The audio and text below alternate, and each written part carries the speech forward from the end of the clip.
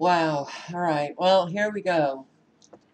Gulf of Oman attack. U.S. says Iran highly likely behind torpedo attack on American linked oil tanker and bombing of second ship. Yay! Isn't this great? Tanker torpedo attacks in Hormuz. Crews abandoned ship, U.S. Navy assist video, Middle East on alert, oil prices surge. Iran has little to gain from attacks. Ain't that the truth? America warned would lose war. Don't matter. We still achieve our objectives.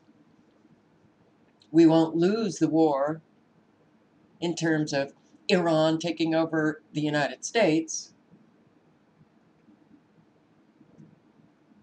How is it that people can still believe the U.S., the Israeli government, how is it that people could still believe all of this horse shit? Federal spending soars past three trillion. All right. I am I am really tired of it. 60 years all I have seen is violence, killing, murder, bombing, taking over countries, occupations, stealing minerals, oil, all based on a lie. Never stops. Why doesn't it stop? It doesn't stop because, well, the U.S. and Israel, with their false flag attacks, they're tied to the hip, one in the same. I look, you know, Israel United States government couldn't be more evil. And what what is that? Um, the uh, axis of evil. The axis of evil. Well, the guy that said that, Bush, baby Bush, was just doing that narcissistic, psychopathic thing, you know, pointing the finger at others, you know, because they can't take responsibility for their own evil within themselves. So they point the finger at someone else. But it's all about an agenda. All about an agenda. We are the axis of evil. Israel, U.S. Then the other point in that axis, uh, Saudi Arabia, uh, Britain, Tanker Inferno. Is this the start? It could very well be the start of that World War III that has actually been going on. But now it gets really dramatic and explosive, and U.S. says Iran highly likely behind torpedo attack on American-linked oil tanker and bombing of second ship. We've already been set up for this. Report, Mossad intel of looming Iranian attack led U.S. to send in carrier force, deploying the USS Abraham Lincoln to vicinity of Iran. U.S. National Security Advisor John Bolton says it came after a number of troubling and and uh, escalatory escalatory indications and warnings. Escalations. Let's just say escalations. Yes, Iran, country that hasn't threatened anyone hundreds of years. Never invaded another country, hundreds of years. But, ah, look at what Israel and the United States has done. Invading so many countries, dropping bombs all over the place. But, no, it's Iran, or it's Iraq, Oh, right, Iraq had nothing to do with 9 11. Who cares? Who cares? Shock and awe. Shock and awe 24 7. Americans watching the bombing of a country that had no, no, excuse me, nothing to do with it 9 11. Nothing to, oh, who had something to do with 9 11? Well, Israel, Saudi Arabia. Oh, and the US government. That's right. Take down my video, YouTube. Dare I say that the official narrative on 9 11 was incorrect. Here, Bolton said just before this attack, this torpedo attack, Iran. Yeah. Oh my God. The the deployment is aimed at sending a clear and unmistakable message to the Iranian regime that any attack on United States interests or on those of our allies will be met with unrelenting force. Yes, these sick, evil bastards. One, two, and then throw in Netanyahu. The United States is not seeking war with the Iranian regime. We've always been seeking war with the Iranian regime. But believe that, Americans. Believe it. Believe the horseshit your authority figures tell you. Believe the lies they speak all the time. Go ahead. Believe another lie. And Trump, of course, yeah. He blames Iran Immediately. No investigation. Geez, do you think maybe there's an agenda here? You know, I am sick of this. And you know, with every event that takes place, there are more and more innocent people who have to suffer the consequences of these sick, evil bastards who never get a scratch on them.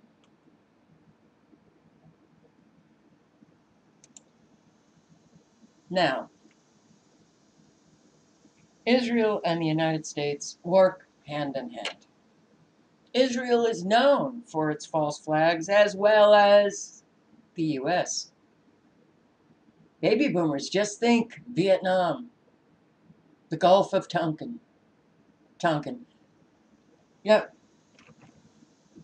Iraq. Let's blame Iraq for 9 11. We went into Afghanistan, we went into Iraq, and Saudi Arabia and Israel is where we should have been going into. But, well, Iraq had a lot of oil. Afghanistan has a lot of heroin and minerals. But the Israelis. Now, they are capable of just what the United States is capable of. These are good articles. This was just posted June 9, 2019, just a few days ago. Israel's attack on the USS Liberty.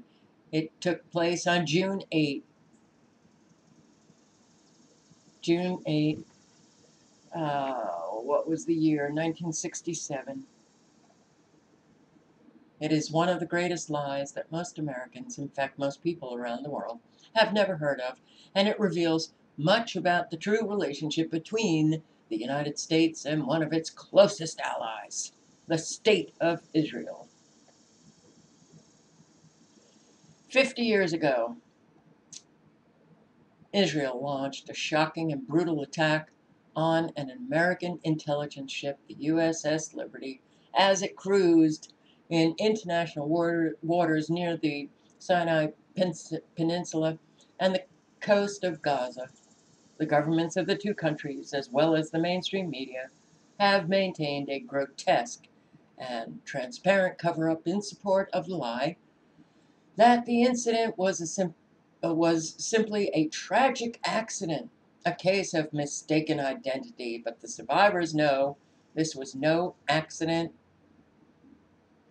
The Israeli military did all it could to sink the Liberty and kill all 294 on board. Didn't succeed, but at the end of the attack, 34 crew members were dead. Between 171 and 174 were injured, depending on which source you use. The ship had been positively identified by Israeli planes as an American ship as early as 6 a.m. that day, eight hours before the attack. The Liberty flew a large American flag. It had clear identity, clearly identified as an American non combat ship. And it took place on the fourth day of Israel's six day war against Egypt, Jordan, Syria. The Liberty had been ordered into the Mediterranean to monitor communications related to this Arab Israeli conflict. The ship was hit with rockets, cannon fire, and even napalm. Eight sailors were killed. In the initial assault, the Liberty was unable to contact the Sixth Fleet for help because its emergency frequency had been jammed and communication equipment badly damaged, destroyed, temporary repairs on the ship, or at least um, they were at least able to send a distress signal. Uh, two aircraft carriers were sent. The USS Saratoga, the USS America planes were immediately dispatched to aid the Liberty. The pilots were authorized at the time to destroy the attacking planes and ships, but before they could arrive, new orders were given recalling them, even though the attack was still ongoing. 35 minutes into the attack, three Israeli ships reached the scene and began launching torpedoes. One hit the Liberty, killing another 26 crewmen and creating a 40 foot hole in the hull. Then a spray of machine gun fire targeted firefighters and rescue workers who were carrying stretchers with the wounded. The Israeli boats even fired upon life rafts, which had been lowered. 2005, the U.S. Liberty Veterans Association sent a report entitled A Report War Crimes Committed Against U.S. Military Personnel, June 8, 1967. This is what the report said shortly after the Sixth Fleet transmission of the rules of engagement in its dispatched rescue aircraft. To its dispatched rescue aircraft, the Israeli torpedo boats suddenly broke off their attack and transmitted messages asking if USS Liberty required assistance. At the same time, an Israeli naval officer notified the U.S naval attache at the American Embassy in Tel Aviv that Israeli forces had mistakenly attacked a United States Navy ship and apologized. The naval attache notified the United States Sixth Fleet, and the rescue aircraft were recalled before they arrived at the scene of the attack. Researcher Alison Weir who has written extensively about the history of Palestine and Israel, wrote an article on the website If Americans Knew about the media silence. She wrote, Whatever the reason, until American news media start being conscientious enough to get their reports on Israel right, Americans are going to continue being dis- disastrously misinformed about one of the globe's most destabilizing, tragic, and potentially calamitous, calamitous areas of conflict. Americans know they're being lied to. Jews know they're being lied to. Israelis know they're being lied to. But the lie is easier for those who are comfortable. Sorry, but it's the truth. How many have I faced trying to tell them the truth and they refuse? They don't want to hear it. Because it might mean that they have to do something with that truth. It might mean, oh, they have to change. They, oh, I might have to do a little bit of research myself to find out the truth. Now I'm going to go with the lie because that allows me to continue living my comfortable life, doing everything just exactly the same as I did yesterday, and I'll do the same tomorrow, but I'm comfortable. Hey, I'll slap a uh, uh, a ribbon, yeah, a ribbon, uh, a magnetic ribbon on my car, saying, "I support my troops going after, going after Iran."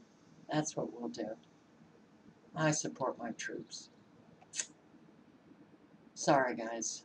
I am same old, same old. And same old, same old is really sickening, disgusting, grotesque. So it's beyond immoral. I mean, even just the word immoral is an understatement. There is no word to describe these people. But what, what, how do you describe the Israelis and the Americans who accept the lies their government tells them? All, I mean, it's a, it's a farce. It's a joke. It's a, I'm sick of it.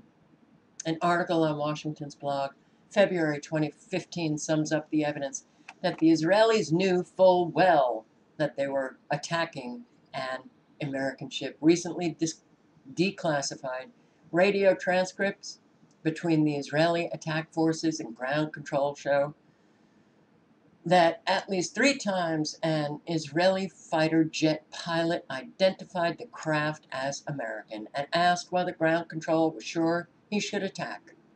Ground control repeatedly said, Yes, attack the vessel.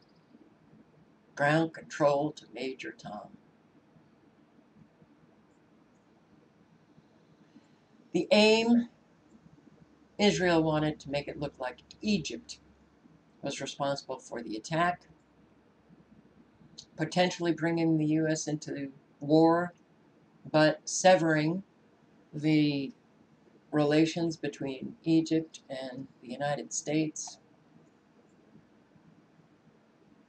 The documents also suggest, here, this was in the Baltimore Sun, 2007, an article in which detailed uh, that the Israelis knew it was an American ship, but the article also said the documents also suggest that the U.S. government, anxious to spare Israel's reputation and preserve its alliance with the U.S., closed the case with what even some of its participants now say was a hasty and seriously flawed investigation, just like the assassination of Kennedy, 9 11 Commission. We get these bullshit reports from these commissions and we accept it over and over and over again. So, a deliberate act of murder? Absolutely. War crimes? Absolutely. Here, Commission's most explosive findings. Oh, you could read. Read all about it. Read all about it. What have we learned? We have learned that Israel is capable of attacking its allies and especially the United States, to further its Zionist agenda. One can't help but think about 9 11 in this regard. Israel will lie to America to draw it into a war under false pretenses. pretenses. It also has no problem blaming a third party like Egypt for an atrocity it did not commit. Israel wields sufficient power with within American circles of power that the U.S. government is more concerned about not embarrassing Israel than it is about defending its own people. The American media will participate in a cover up of an active war against America rather than point the finger at Israel. Israel uses the same attacks against the liberty survivors that governments and mainstream media use to marginalize conspiracy theorists. Yes, take my video down, YouTube. Terminate my channel. I'm anti Semitic. I am criticizing Israel, and that's anti Semitism.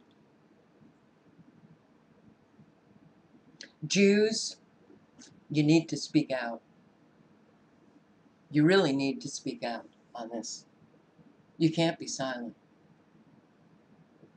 You know, here in the great United States, our freedom.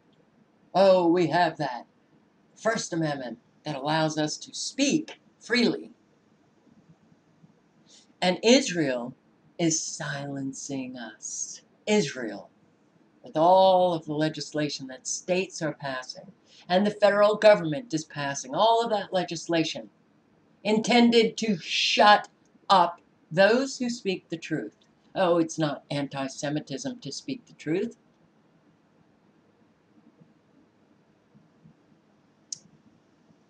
It's, uh, that's the card played over and over. It's like that race card played over and over again. So is that anti-Semitic Semitic card played over and over again. And it's all used, all used to strip all of us of our freedom, our right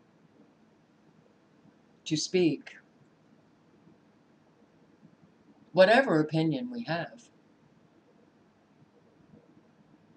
But certainly the truth Israel silencing the truth. Here in the great U.S., some Jews are speaking out, but oh boy, do they get silenced as well. Yeah. Israel will also play the anti-Semitic or and neo-Nazi cards against American servicemen, servicemen who were victimized in the attack and who are continuing to demand accountability. Yes, the survivors want accountability.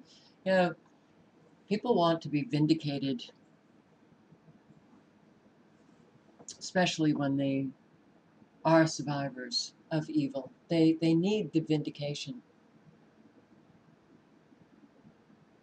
They should not be shut up and then re-victimized. Um, with attacks that discredit, ruin their reputation, question their veracity. This is a very sick world we are living in. Even half a century later, the American government will continue to protect this lie and allow the victimization of the survivors to continue. Israel cultivates the image of a country and a people who are victims, constantly under threat. But one thing that is horrifyingly, that this horrifying event really makes clear, is that Israel threatens anyone or any country, even supposed friends, get in the way of its political objectives, and the United States, filled with Christians, not a Jewish state, does the exact same thing. Does the exact same thing. You can read this article. Um, Israel's use of false flags and global terrorism. Michael Collins Piper, those who believe that Israel is behind the alleged chemical weapons attack in Syria, hiding behind a false flag designed to implicate the Syrian government, have very good reason to believe in such a scenario. His book, Final Judgment, documents the role of Israel's Mossad in the assassination of John F. Kennedy, first pointed out as far back as 1994. Michael first pointed out. The use of false flags by Israel's Mossad to cover up its role in worldwide assassination conspiracies and other criminal activity had been utilized time and again. Arabs, radical Muslims, the mafia, right wing extremists, and even environmentalists, among others, have repeatedly taken the fall for crimes committed by the Mossad or carried out under its coordination, Mossad CIA. Sick, sick agencies committing crimes. Look, United States, Israel, criminal governments. The, the criminals have taken over. They have been at the helm for decades, committing crimes against their own people and against the world. Why am I frustrated? Because it's only the people that can stop. Only the people who will finally engage in truth. In truth.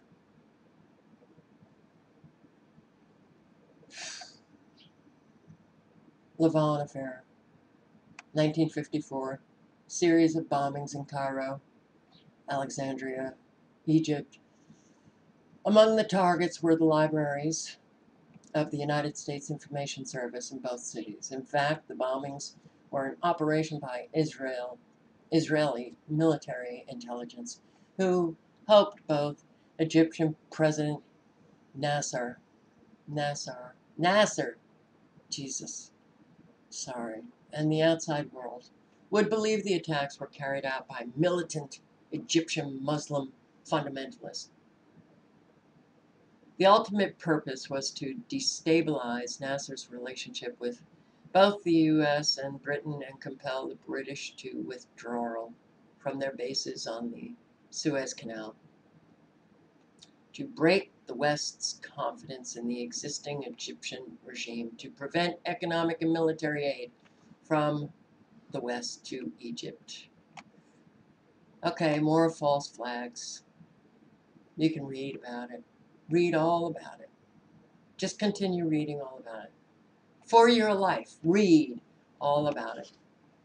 And then we'll read about the latest.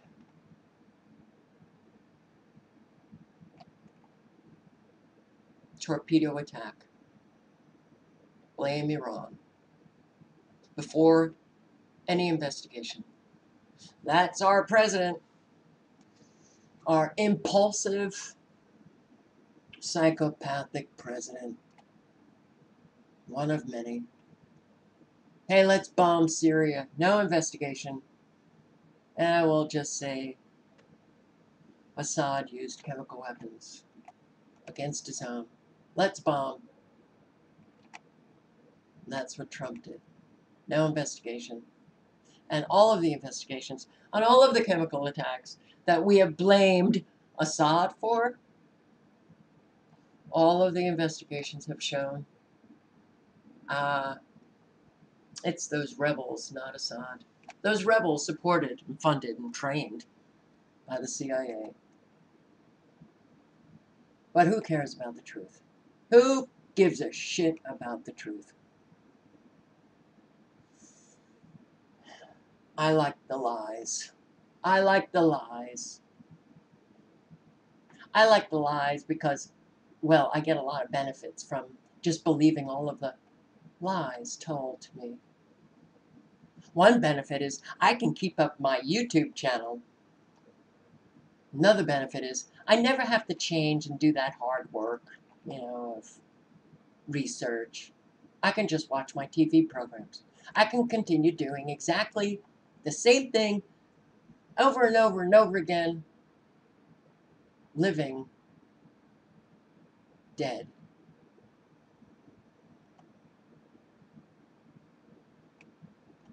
This could be the start, guys. This could be the start.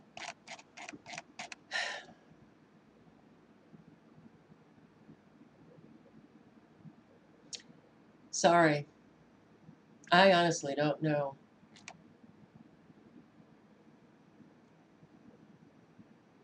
I am so sick of this world. I am so sick of having to live at the expense of liars. Sick psychopathic liars. Yep. I'd say Israel, United States, false flag, and this guy is now smiling. Yay! Now we can directly attack Iran. And you know what's coming, Americans? I have no doubt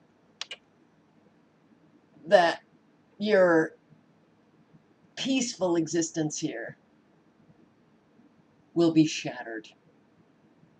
Oh, we've lived a very long time never having to suffer the consequences directly of our invasion of other countries.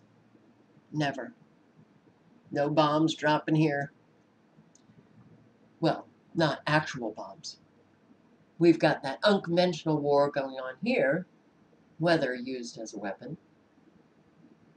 But don't think you're going to escape